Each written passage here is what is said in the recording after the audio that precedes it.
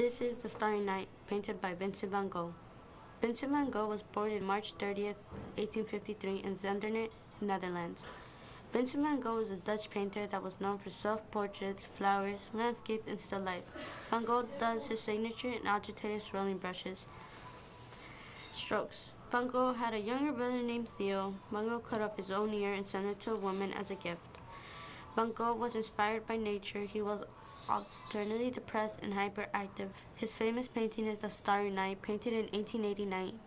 This painting is the view from the east-facing window from his auxiliary room at Saint Remy de Provence just before sunrise. This painting is post-impression.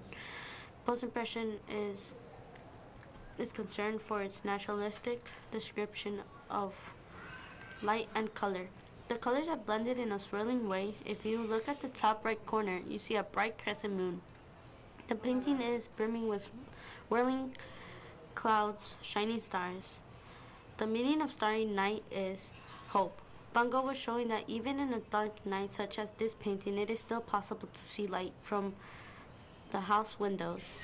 Also with stars filling the sky, there was always a light to guide you in dark places.